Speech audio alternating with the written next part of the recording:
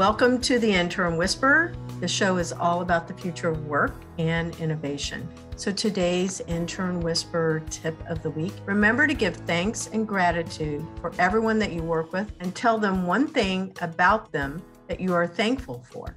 Okay, so today we are celebrating Thanksgiving, an American holiday that I am not sure many people really reflect on what the real meaning of Thanksgiving is and, and what it really represents. So we're going to get started here. And just so you know, this is kind of like a story time. So be sure to snuggle in, get something cozy to wrap around yourself, and something to sip on. So, most stories about Thanksgiving history start with the harvest and the celebration of the Pilgrims and the Native Americans that all took place in the autumn of 1621. And although they did have a three day feast in celebration of a good harvest, the local natives did not participate. The first Thanksgiving was not a holiday, but simply a gathering. There is little evidence that this Feast of Thanks led directly to our modern Thanksgiving Day holiday that we now enjoy. Thanksgiving can, however, be traced back to 1863 when President Lincoln became the first president to proclaim Thanksgiving Day. The holiday has been a fixture ever since that time. However, most school children are taught that the first most school children are taught that the first Thanksgiving was held in 1621 with the Pilgrims and the Indians. The Pilgrims who sailed to this country aboard the Mayflower were originally members of the English Separatist Church, a Puritan sect. They had earlier fled their homes in England and sailed to Holland to escape religious persecution. There, they enjoyed more religious tolerance but they eventually became disenchanted with the Dutch way of life, thinking it ungodly. So they left and they renegotiated with a London stock company to finance a pilgrimage to America. Most of those making the trip aboard the Mayflower were non separatists, but were hired to protect the company's interests. Only about one third of the original colonists were separatists. The Pilgrims set ground at Plymouth Rock on December 11, 1620. Their first winter was devastating. At the beginning of the following fall, they had lost about 46 of the original 102 who sailed on the Mayflower. But the harvest of 1621 was bountiful, and the remaining colonists decided to celebrate with a feast including 91 natives who had helped the pilgrims survive their first year. It is believed that the pilgrims would not have made it through the year without the help of the natives. The feast was more of a traditional English harvest festival than a true Thanksgiving observance, and it lasted for three days. Governor William Bradford sent four men fowling after wild ducks and geese. It is not certain that wild turkey was part of their feast. However, it is certain that they had venison. The term turkey was used by the pilgrims to mean any sort of wild fowl. Another modern staple at almost every Thanksgiving table is pumpkin pie, but it's not likely that that was the treat that they had at that first Thanksgiving. The supply of flour had diminished a long time ago, so there was no bread or pastries of any kind. However, they did eat boiled pumpkin and they produced a type of fried bread from their corn crop. There was also no milk, cider, potatoes, or butter.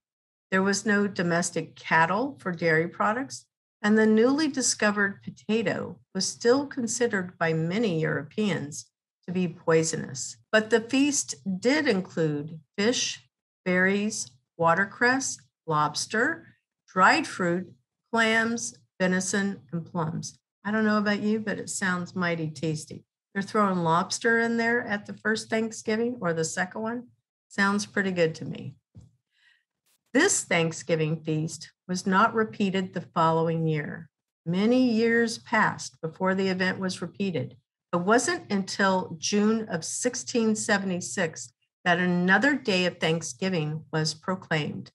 On June 20 of that year, the Governing Council of Charlestown, Massachusetts held a meeting to determine how best to express thanks for the good fortune that they had seen their community securely established. By unanimous vote, they instructed Edward Rawson, the clerk, to proclaim June 29 as a day of Thanksgiving. It is notable that this Thanksgiving celebration probably did not include Native Americans, as the celebration was meant partly to be in recognition of the colonists' recent victory over the heathen natives. By then, it had become apparent to the settlers that the natives were a hindrance to their quest. So the goodwill they shared at the first feast had long been lost. A hundred years later, in October of 1777, all 13 colonies joined in a Thanksgiving celebration. It also, it also commemorated the patriotic victory over the British at Saratoga, but it was a one time affair. George Washington proclaimed a national day of Thanksgiving in 1789. Although some were opposed to it, there was discord among the colonies. Many feeling the hardships of a few pilgrims did not warrant a national holiday. And later, President Thomas Jefferson opposed the idea of having a day of Thanksgiving. It was Sarah Josepha Hale, a magazine editor whose efforts eventually led to what we recognize as Thanksgiving. Hale wrote many editorials championing her cause in her Boston Ladies magazine and later in Godey's Lady in Godey's Ladies book. Finally, after a 40 year campaign of writing editorials and letters, finally, after a 40 year campaign of writing editorials and letters to governors and presidents, Hale's obsession became a reality when in 1863, President Lincoln proclaimed the last Thursday in the last Thursday in November as a national day of Thanksgiving. Thanksgiving was proclaimed by every president since Lincoln. The day was changed a couple of times, most recently by Franklin Roosevelt, who set it up one week to the next to last Thursday in order to create a longer Christmas shopping season. Even then, commercialism and thinking about the economy. I guess that's a good thing. Public uproar against this decision caused the president to move Thanksgiving back to its original date two years later.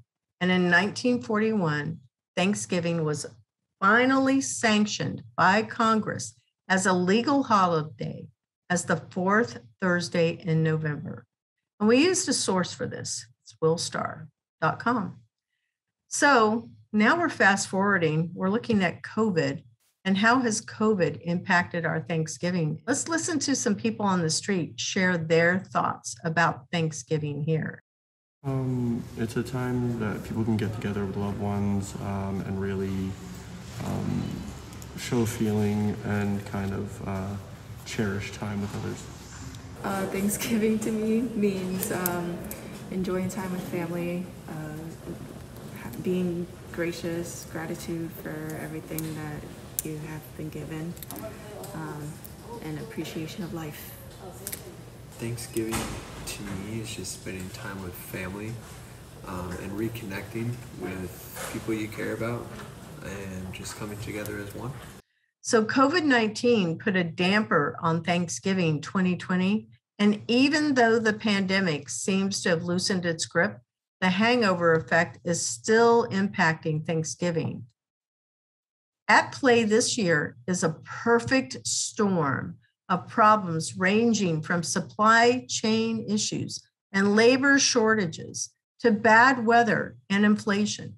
Rather than an actual shortage of food, the snarl tangle in the supply chain that gets food from field to table has made some supplies erratic and nearly all prices higher. For those on Social Security, Andrew Sykes, an assistant manager at the United Market Street store in Wichita Falls, noticed an overall increase in food prices. He said Thanksgiving shopping started November 1. That's typically when it comes to people living on Social Security. They come in at the first of the month and they go ahead and buy their Thanksgiving items and budget the rest. Let's go and listen to some more people sharing their thoughts about how COVID has impacted the holiday here.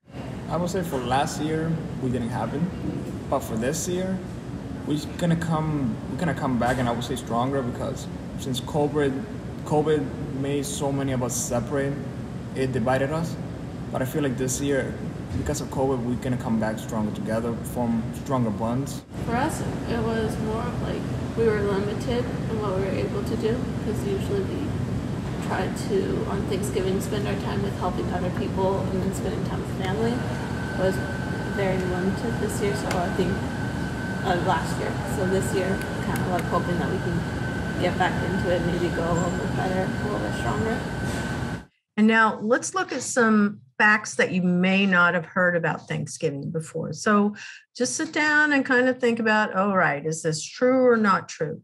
Americans prepare 46 million turkeys for Thanksgiving each year. 46 million turkeys. That is an amazing amount of animals that we are consuming.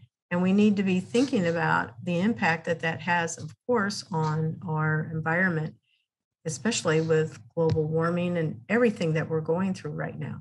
Thanksgiving without turkey would be like Christmas without a tree. And most Americans wouldn't dream of foregoing this, this crazy bird that we absolutely love to eat. And I am one of those people. But while it's not very popular for the rest of the year, we'll eat it in turkey subs and things like that. Turkey is a huge hit for the holidays, and probably because it can serve a lot of people so on Christmas, an additional 22 million families host an encore, with Thanksgiving turkeys being the same center of the table dining. So, second fun fact not everyone eats turkey on Thanksgiving. So, if your family goes in a different direction on that day, you're not alone. According to the National Turkey Federation, 88% of Americans chow down on Thanksgiving turkey. However, the rest may be vegetarian or vegan, or they're just taking a stand against a protein that's you know doesn't show up on for the rest of the year. And not everybody is somebody that enjoys our american tradition of eating the normal turkey. They may go out for chinese or pizza. Only male turkeys actually gobble. That's an interesting fact too. So if you learned in preschool that a turkey goes gobble gobble gobble that's only about half true. Only male turkeys, appropriately named gobblers, actually make that sound. Female turkeys cackle instead. So if you're trying to figure out whether a turkey is male or female, just wait until they open their beaks and they let out a noise. Most Americans prefer Thanksgiving leftovers to the actual meal. So, fans of the beloved turkey, stuffing, and mashed potato, I am one of those, that likes to eat it as a leftover sandwich. I don't do that. You're in the majority. Almost eight in 10 Americans agree that the second helpings of stuffing, mashed potatoes, and of course, pumpkin pie beat out the big dinner itself. According to a 2015 Harris poll, sweet potato pie, as well as leftover stuffing recipes and easy mashed potato recipes, are super popular. People will craft creative leftover concoctions out of what doesn't get consumed during the feast or just head back for a whole second act. If you find yourself raiding the fridge, you're in good company. Uh, I would be one of those that likes that. Next fun fact the Butterball Turkey Talk Line answers almost 100,000 calls each season. So many people roast a big turkey just once a year and understandably need a little help there's no question that is too silly for the heroes on the other end of this line. In 2016, the company's popular cooking crisis management team also introduced a 24 hour text message line or the Butterball Turkey Talk line for the lead up into the big day. So if you're wondering why the turkey isn't turning out quite the way you want it, or why your oven starts on fire like Taylor's firefighter father in laws did one year, don't panic. Help is just a call away. So don't panic. You can even text message. Okay, this one's for Becca. She's the associate producer. Canada also celebrates Thanksgiving, but on a different day.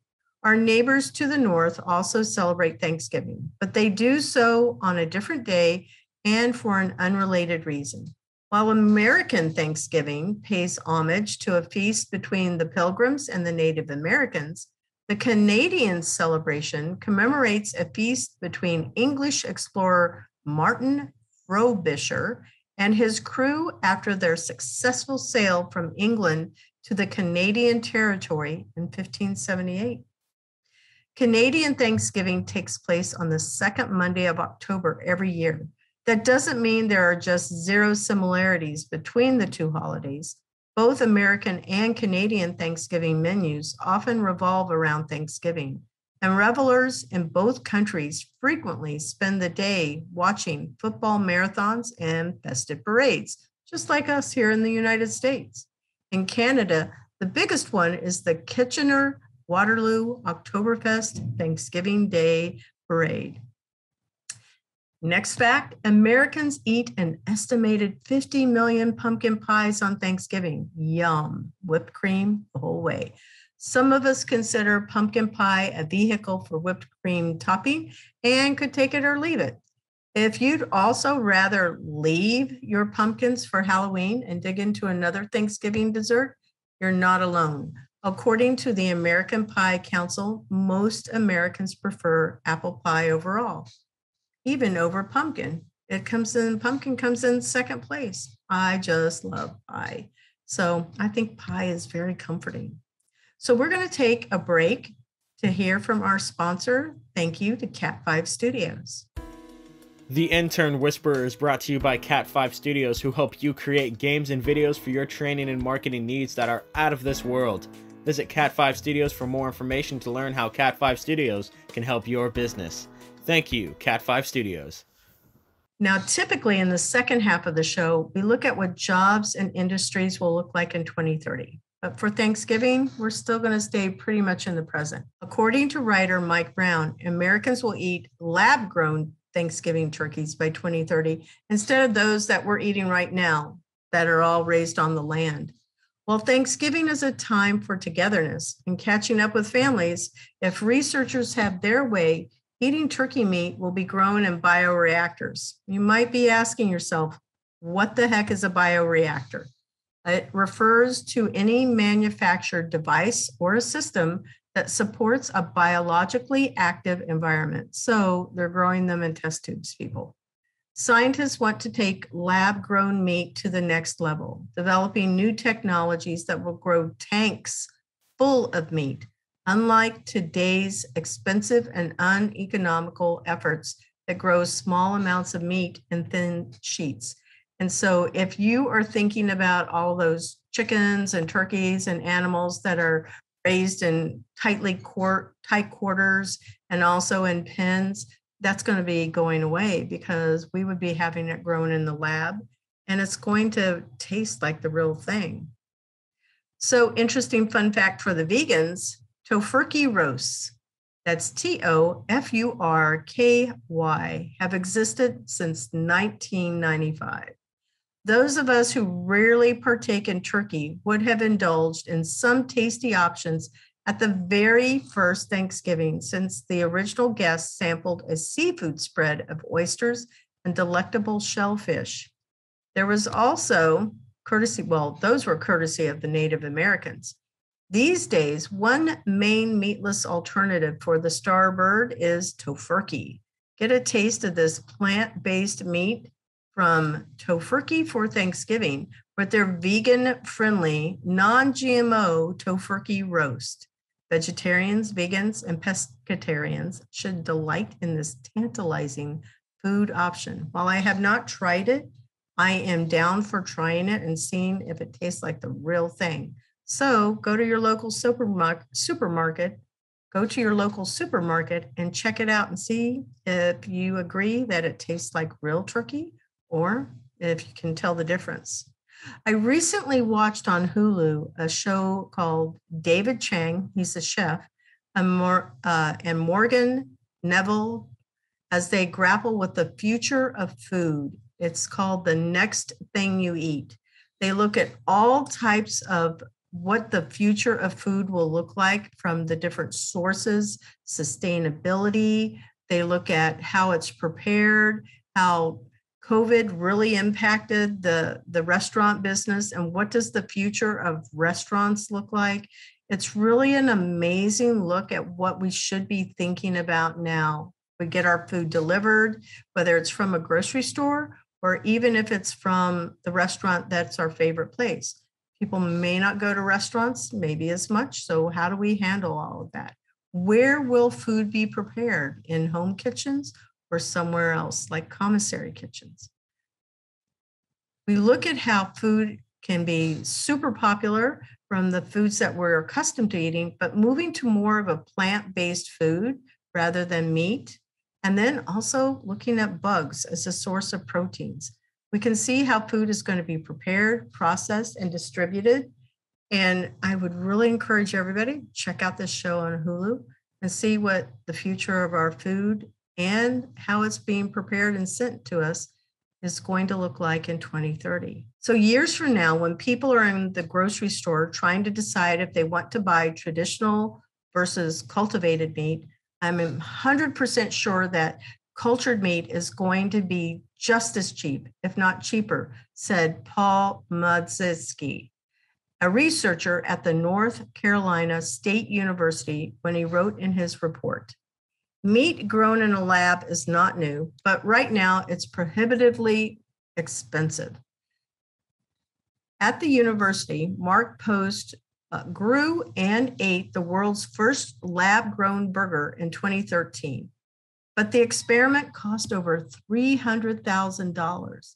Post teamed up with food technician Peter Verstrate to form Mosa Meat, that's M O S A, a company dedicated to pushing these costs down and getting lab grown meat on store shelves by 2020.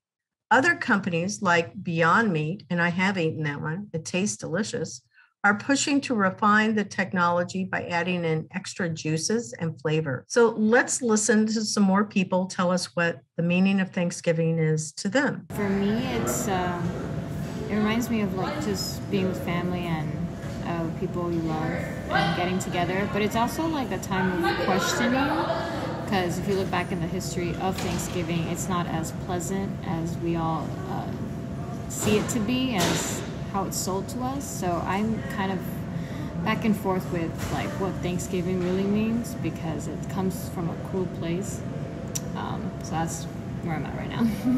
you know, just time to reconnect with family, have people over. Um, for Thanksgiving this year, I'm actually having some friends come visit. So um, overall, you know, just time to take it easy and connect with loved ones. Now, for myself, I am aware of the fact that life is better than what I deserve. I didn't grow up in the obviously the 16, 17, 1800s. So, like, this is a pretty good life. The world is surely filled with pain and suffering, hardship and turmoil, disappointment and regret, but we need to just slow down to remember all that God has done for us and to give thanks and show gratitude. So most have probably heard this quote For unto whomsoever much is given, of him shall be much required. From Luke 12 48. We, as people of this planet that we inhabit, have a responsibility that becomes a privilege, and we don't even recognize it. We are blessed. We are gifted to give. We are blessed to bless others. And we are not lucky, fortunate, or merely disciplined. We are expected to do something with the grace that we've been given. And I am challenging everybody that listens to this show to just remember grace. Give grace to others and also remember to give grace to yourself. We have so much in our life, and we just need to remember to be grateful. So, as a child, I didn't underestimate, well, I actually didn't understand. Let, me start over. As a child, I didn't understand gratitude as much as I do now that I'm older. In a universe that seemed to hurt for no reason, others, we give thanks. In a universe that seemed to hurt for no reason, giving thanks felt disingenuous. Living in a world where children die of hunger every day, where people live and die on the street because of COVID, because of homelessness, because of disease, because of violence, it just doesn't make sense. But now I understand that being grateful is a choice. So, this is my list of what gratitude is. And before I go to my list, gratitude is not just Gratitude is not a human's nature.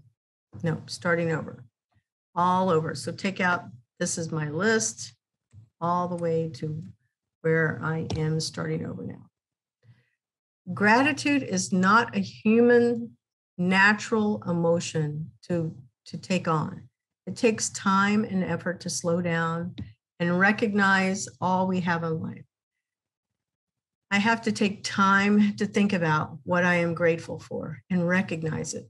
So, one of my favorite things to do when walking is to just use that as a gratitude walk and to remember all that I have and to give thanks for those things. So, here's my challenge to all of you as listeners take time today and every day, wherever you are and whatever you're doing, to come up with a gratitude list. If it doesn't come naturally, don't let that stop you from still giving thanks. There is so much to be thankful for if we only take time to just sit down and reflect. So, here are my 10 reasons to give thanks. I'm thankful for my health, for being able to participate in extreme races and jump over fire to set a goal, and I just love doing those extreme races. I would tell my mom, my dad, my brother about it, and they would go, you know, you can join the military and do this for nothing. you don't even have to do that. My mother thought it was ridiculous to want to jump into a, a pool of mud and swim through it. But I really enjoyed that. And I just celebrated and I just was thankful that I could walk, that I could actually just feel all of those emotions and and everything that came with it and jumping over fire it's not like giant rings of fire but it was fire and it meant something and it was significant so the next goal more of those extreme races but now taking on a half marathon and always remembering to eat turkey dinner and i'm just saying wawa has a great thanksgiving dinner in a pinch so if you like that gobbler bowl, go grab one. The second thing I'm thankful for is my family my dad, my mom, and my ridiculous brothers. We shared ups and downs and managed to work through all of the issues that come with being a family. To all those I am privileged to work with and be part of my crazy startup story, I consider you family. And to all my friends, those that are passing through my life that have been here for a reason, a season, and hopefully for life. I am thankful and count you as part of my family, my cousins, my nieces, all of us together. We are passing through periods of life and we don't always recognize that these people are here for a reason. They're either there to help us get through something or we are there to help them get through something. And if we are filled with gratitude, not just blessed and lucky. There are a few that will stay with us for a lifetime. I am thankful. The third thing is I am thankful for the gift and opportunity to build and stand up not one company, but six. This is not for the faint of heart. I asked God for an effing empire and he gave it to me. And I should have asked him, well, what is this going to cost me? Since I did not, now I tell myself and remind myself, well, now I tell myself God has blessed me with this. So I need to keep trusting God. Startup life is really hard, and at times it's really easy. It's easy to do, it's hard to master. It's always frustrating, it's always rewarding. There is just no flipping way I could have done this by myself. So I am thankful for each person, the past, the present, and the future, who have been a part of this journey of growing Employers for Change, the E4C Academy, this podcast, our game on Steam, Cat5 Studios. Thank you to each and every one of you. I'm going to tag you on the social channels. Number four, I am extremely thankful for the startup community of entrepreneurs, founders, and mentors who are making a difference in the world. You all inspire me. Number five, I am thankful for being surrounded by creative minds, people with influence and power that have lifted me up and given me opportunities to stay afloat, to grow, and to thrive. Number six, I am thankful for doing work that matters, that brings awareness to what diversity and inclusion means and looks like in this world. It's not just faces on a page, it is not the color of our skin, it is not even the gender or your age. It is so much more than that. I am thankful for the ability to help others see how we are all a hot mess, and yet we are amazing superheroes at the same time. And it's really the fact that we can actually all learn from each other. That is the thing we need to remember. We're made for relationships and we need one another. Number seven, I am thankful for music. Musical artists and bands, some of my three favorite songs are Bless the Broken Road by Rascal Flatts, What a Wonderful World by Louis Armstrong, and Happy by Pharrell, Pharrell Williams. I don't think I'm saying his first name right either. Anyway, you know, it's from Minions. Their words and music have inspired me. They make me smile and they remember that everything is okay. I am thankful for movies and for being able to turn off my brain and just still have fun, to be inspired, to laugh. So, you guys know I talk about Men in Black and Guardians of the Galaxy. And yes, aliens do live here on Earth. Those are my two of my favorite movies. And my third is The Princess Bride, just to remember to, to love.